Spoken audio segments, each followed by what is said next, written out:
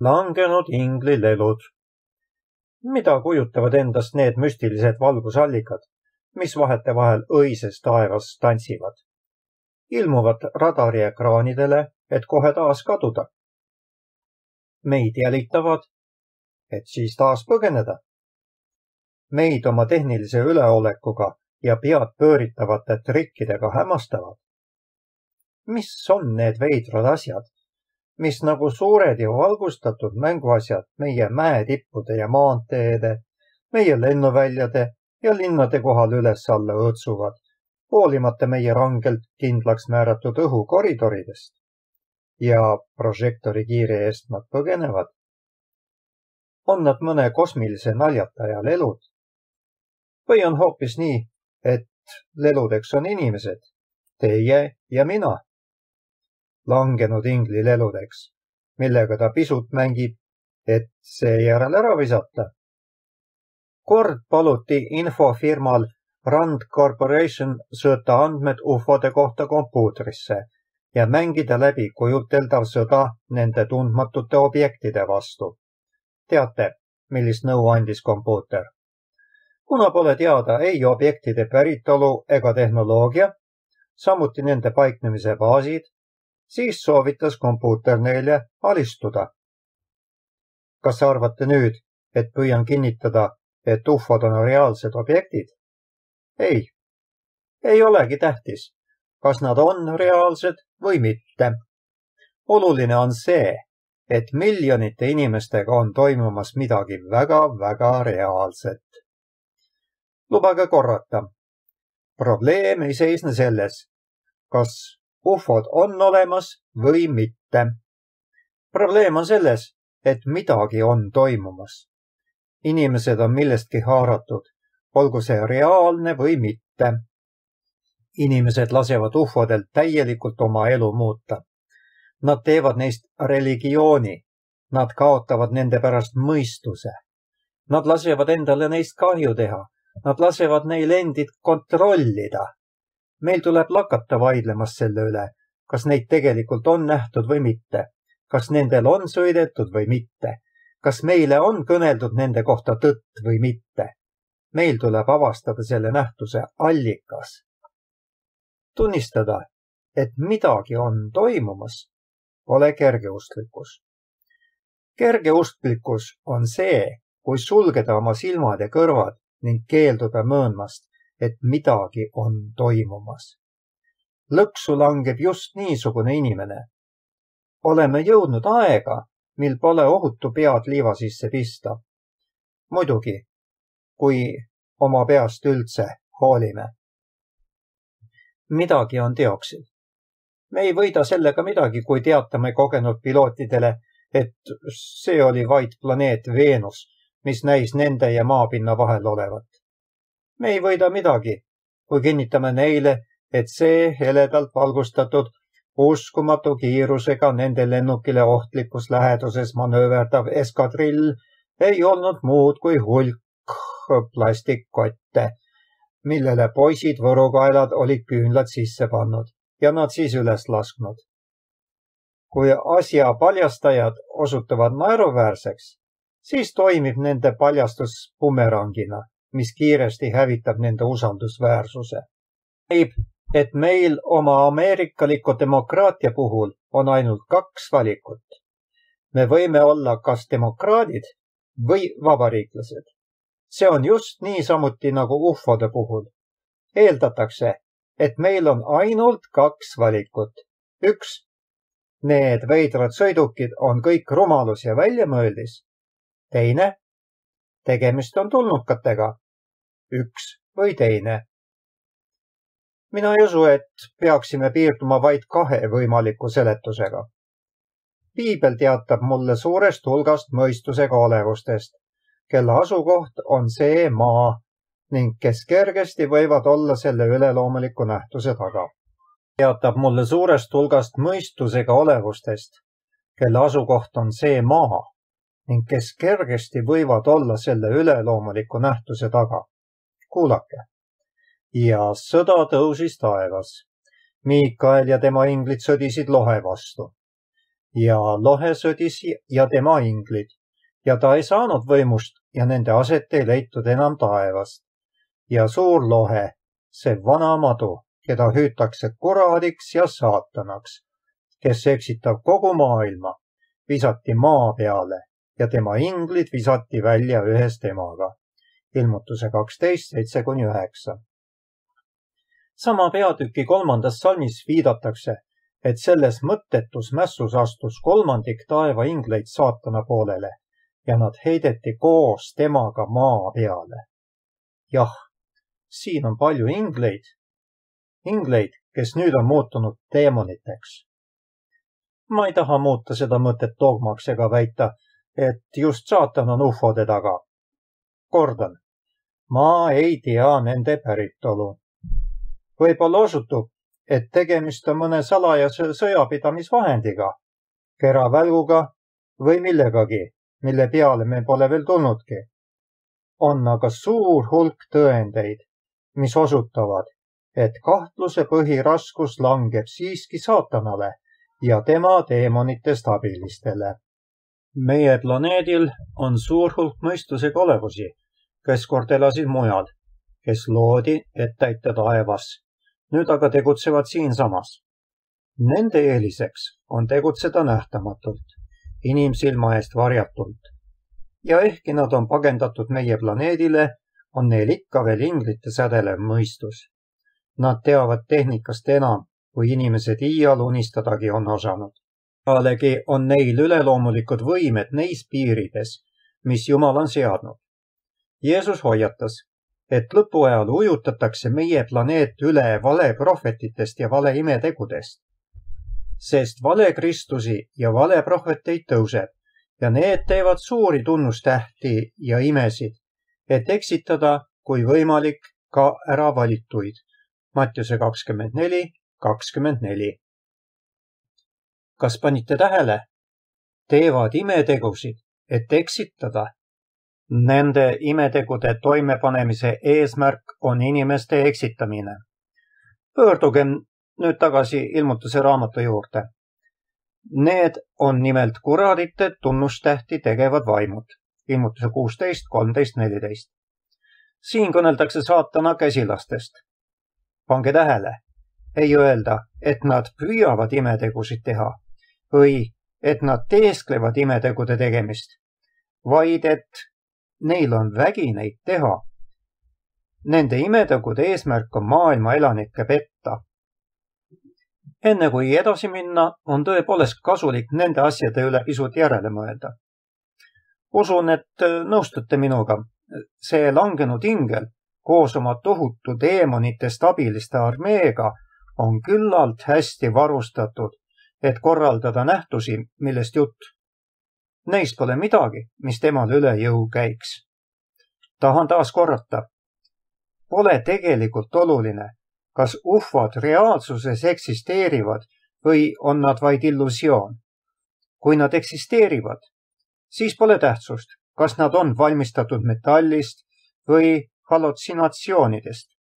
kui me aga väidame, et midagi pole olemas, siis osutame seega vaid oma puudulikule nägemisele millega ufode puhul ka tegemist poleks, tegelevad nendega ja saavad nende tõttu kahjustatud miljonid inimesed. Need inimesed teevad ufodest endale religiooni.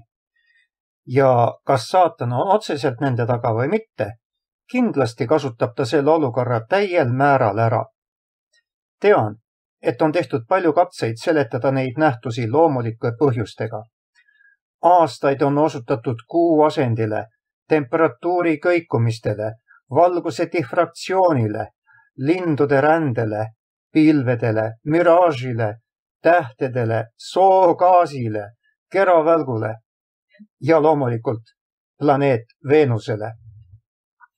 siiski esineb tundemärke, mis uurimisel peagi kõik sellised eeldused välistavad ja osutavad, et ufode taga peab olema mõistus. näiteks mõnel juhul on ufod lennanud otse riigipiirini, kuid pole seda ületanud. miks? kindlasti ei oska meteoorid poliitilist maakaarti lugeda. rohkem on ufosid nähtud kõrvalistes paikades ning hilisõhtul, mis osutab, et ufod või nende juhid eelistavad harilikult oma tegevust salajas hoida. Rohkem kui muudel päevadel on neid ilminguid registreeritud kolmapäeva ja laupäeva õhtutel. kas loodusnähtused tunnevad siis mitte ainult meie kaarte, vaid ka kalendrit ja kella? jah, siin peab olema tegevuses mõistus. ufosid uurides ei lähe kaua, et mõista, nähtus ei ole loomulik, vaid üleloomulik. nähtus on ka sensatsiooniline. Tean, et paljud arvavad, me ei peaks millestki sensatsioonilisest üldse rääkima. just selline seisukoht meeldibki saatanale ja tema abilistele juba tema rünnakust Edenis on see olnud üks tema meelisalasid. keelduda mainimast midagi sensatsioonilist. tähendab öelda saatanale, jää sina vaid sensatsioonilise piiridesse ja me ei puutu sind. kõnelgem sellest pisut. Kas olete kuulnud niinimetatud poltergeistidest, käratsevatest vaimudest? loomulikult olete. kas aga teate, et peaaegu alati, kui kusagil sagenevad ufode registreerimise juhud, sageneb ka poltergeistide tegevus. see juhtub kas pisut enne, pisut pärast või samaaegselt. jah, siin peitub seos. Uurida loendamatuid ufode juhtumeid ei ole eriti viljakas tegevus. Nende kohta on kirjutatud hulk raamatuid ja hulk raamatuid sõnumitest, mis väidetavalt nende kaudu on saadud. kõik need aga on kaunis korduvad ja tüütavad. kaugelt targem on uurida inimesi, kes neid näevad, inimesi, kes nendega on kontakti astunud. just inimesed on olulised. jah, need miljonid inimesed kõigilt elualadelt, sealhulgas ka suur hulk lendureid ja politseinikke. Need inimesed ei valeta Nad võivad küll olla valede ohvrid, kuid nad ise kirjeldavad nähtusi nii truult, nagu nemad seda nägid või nagu neile seda on räägitud. inimestega, kes ufosid on näinud, juhtuvad imelikud asjad. eriti nendega, kes ka edaspidi nendega kontakti on astunud. Nende elu on muutunud peagi veidrate sündmuste ja läbielude jadaks ning nendega võib juhtuda kõik mõeldavaid seiklusi. mõnikord lähevad neil telefonid ja televiisorid hulluks. mõnikord hakkavad mängima välja lülitatud raadiod. tavalised on ägedad peavalud, iiveldus ja isukaotus. öösiti vaevavad neid luupainajad. Nad näevad kohutavaid kummitusi. Poltergeistid tungivad nende kodudesse Neil on veidraid telefonikõnelusi ja eriskummalisi külalisi. vahetevahel ilmuvad äkki ja kaovad sama ootamatult saladuslikud mustad kädilakid.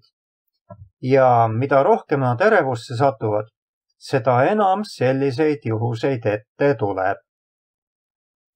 peagi pärast esimest kokkupuudet võib kogu nende isiksus manduda. See mandumine võib muutuda nii üldiseks ja sügavaks, et tagajärjeks võib olla paranoia, skisofreenia või isegi enesetapp. kõige sellega ei taha ma sugugi väita, et inimene, kes näeb ufosid, on vaimuhaige. ei, hoopiski. tahan aga öelda, et kui see inimene kontakte ei katkesta, võib ta nende nähtuste tagajärjel vaimuhaigeks jääda. Kas teate, et ufodega kokku puutunud inimeste juures võib täheldada samu sümptoome, mis kurjast vaimust vaevatute juures. jah, mängimine nende ilmingutega on äärmiselt ohtlik. isegi tõsised uurijad riskivad suuresti. võitlus Kristuse ja saatana vahel ei ole folkloor. see on ülimalt reaalne. teemonid on ülimalt reaalsed. ja nad on reetlikud kõneleme siin mõistusega olevustest, kes on suutelised muutma inimeste tajumisvõimet ning tekitama teadvuse paranormaalseid olekuid. Nad on suutelised muutma vaatleja reaalsustunnetust. et muuta inimese uskumusi ja teha teda mängukanniks selles pettuse süsteemis, projitseeritakse sihilikult tema teadvusse võimsad kujutlused. See asjaolu võibki seletada ufodega kokku puutunute seletusi selle kohta, et neid on röövitud ja sõidukite pardale viidud. näib, et hüpnoosi mõjul võib selle röövimise lavastada peaaegu igaühe jaoks. see tähendab igaühe jaoks, kel puudub küllaldane informatsioon ning kes pole küllalt tark, et mitte oma teadvust kellegi teise kontrolli alla usaldada. see võib seletada ka, miks need röövimislood on kõik nii ühtmoodi. just samuti nagu ühtmoodi jutustused olekust pärast surma. pikad tunnelid, rohelised aasad ja hiilgavad olevused liiatigi pole siin tegemist lihtsa hüpnoosiga, vaid mõttekujutluste otsese siirdamisega. inimene mäletab seda, mida kontrolliv teadvus soovib. võimalik, et neid kontaktisikuid pole teadlikult kunagi lendavate taldrikute pea pardale võetudki. pidage meeles, et mainitud olevused on suutelised manipuleerima inimese mõistusega ja kutsuma esile transiseisundit. kui satuksime kontaktisikule eeldatava röövimiskogemuse ajal peale, võiksime ehk leida teda seismas hoopis kangestununa oma auto kõrval või teepervel. Ta pole tegelikult kusagil käinud. kõik see, mis temaga on juhtunud, toimus tema kujutluses. see on sinna sisendatud. kas hakkate mõistma, kui ohtlik on tegeleda ufodega? võtkem kas või see röövimiskogemus. Te võite öelda, noh, kui seda kunagi juhtunud ei ole, siis kuidas võib see ohtlik olla? Pole midagi ohtlikumat kui see, mis juhtub inimvaimuga. inimene mõtleb, et röövimine on aset leidnud. see moonutatud ettekujutus võib aga muuta kogu tema edasise elu loomulikult ongi see nähtuse esilekutsujate eesmärk muuta inimese uskumusi, käitumist, teha ta mängukanniks selles kohutavas süsteemis. kas siis need salapärased lennuaparaadid tegelikult on seal üleval või mitte? Nad on seal, kui teemonid seda soovivad. ufod lähevad sinna, kuhu neile meeldib ja millal neile meeldib. Nad hõljuvad oma teed hämmastades meid oma ebajärjekindla käitumisega ja peadpööritavate manöövritega, tehes meid oma julma mängu orjaks. tark on see, kes teab või vähemalt aimab, kes nad võivad olla ning jätab nad rahule. Võib-olla oleme nüüd valmis esitama järgmise küsimuse. kas ufod tegelikkuses üldse eksisteerivad? ilmselt ei eksisteeri nad selles mõttes, nagu eksisteerib raamat, maja või lennuk. kindlasti aga eksisteerib nähtus kui niisugune.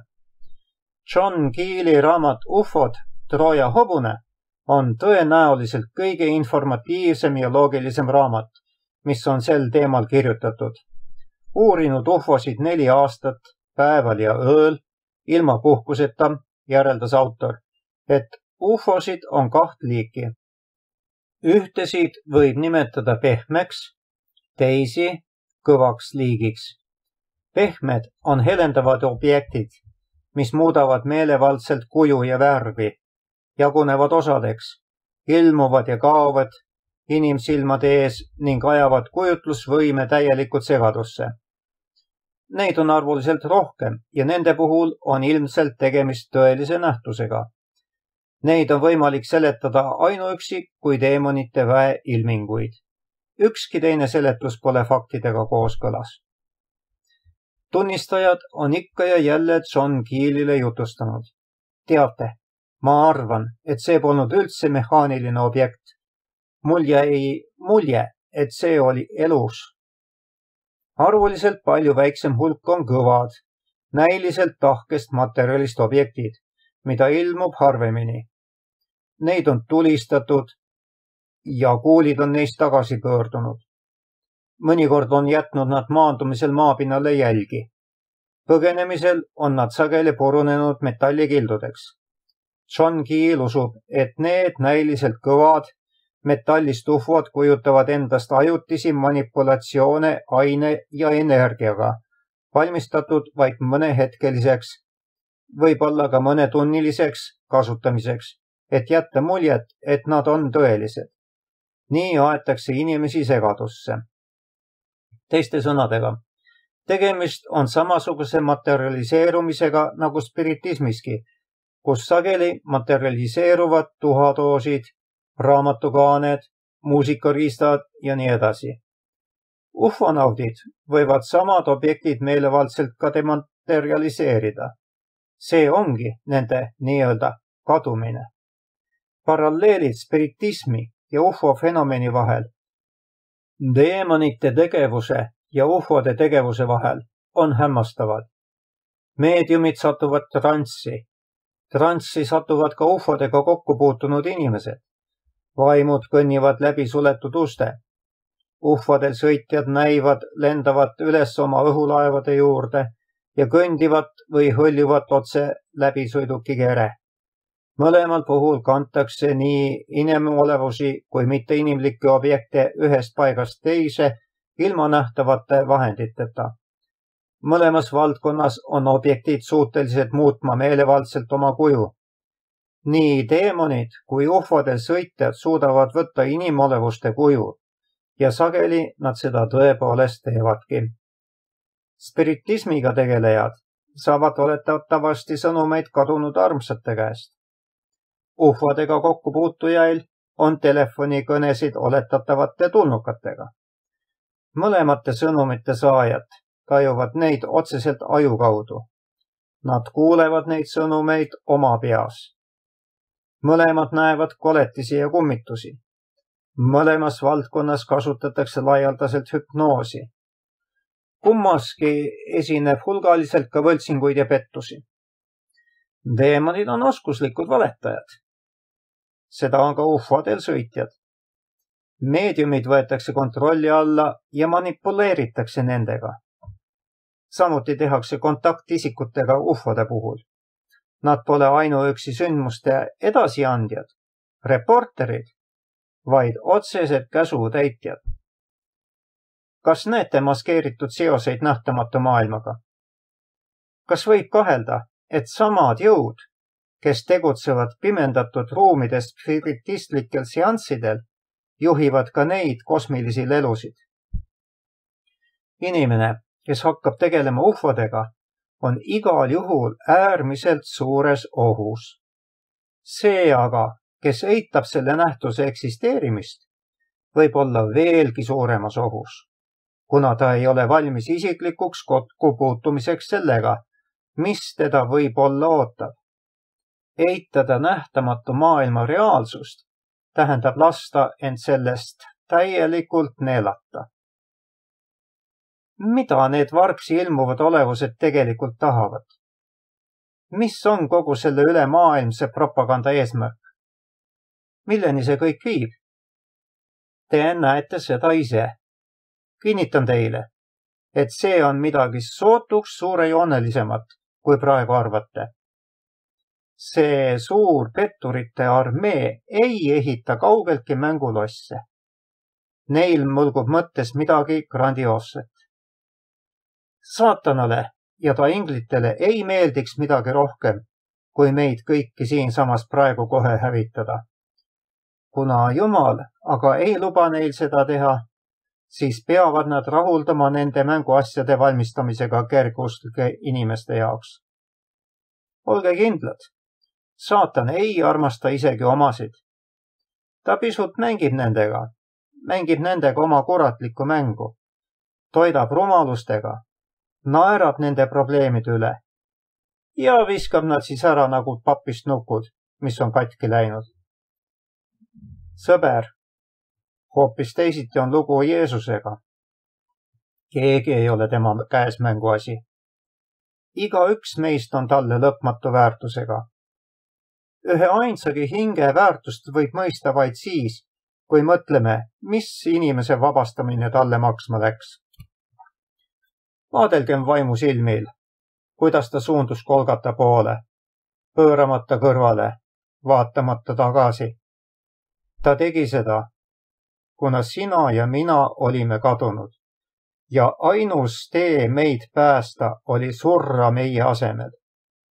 vaata, kuidas ta peab astuma vaenlasele vastu, kohates teda palgest palgesse ning saavutama sinu jaoks võitu, mida sa ilma temata iialgi saavutada ei oleks suutnud.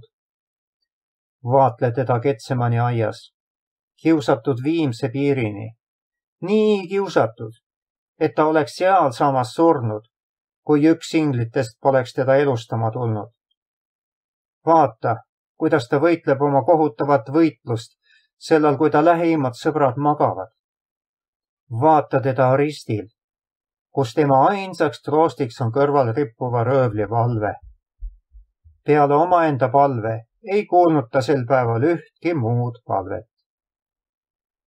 miks ei astunud ta ristilt alla ega kutsunud leegioni ingleid, kes oleks teda sellest Kolgata luupainajalikust tööst ära kõrgustesse viinud? miks ei loobunud ta kõigest, kui näis, et keegi ei soovinudki end üldse päästa lasta? Ei, ta teadis, et kusagil võtab keegi siiski tema ohvri vastu. isegi vaid üks ainus inimene. ja ta oleks valmis surema ka ainsa inimese eest, et teda sellelt hukkumisele määratud planeedilt päästa. nii mõtles Jeesus. nii mõtleb ta sinust. ükskõik, kes sa oled ja ükskõik, kus sa oled ükskõik, mida sa oled teinud ja kui suur on sinu süü. Jeesus tahab sulle andestada. ta tahab saada sinu õnnistegijaks. ta tahab olla sulle sõbraks. sinu vahekord temaga võib olla sama lähedane, sama reaalne, sama püsiv, nagu oleksid sa maailmas ainus inimene, kes tema armastust ja hoolekannet vajab. Jeesusele ei ole sa iial mänguasi talle oled sa alati hindamatu varandus. ta ei väsi sinust iial ega heida sind ära. ta on sinu sõber igavesti. sina aga võid olla sõber temale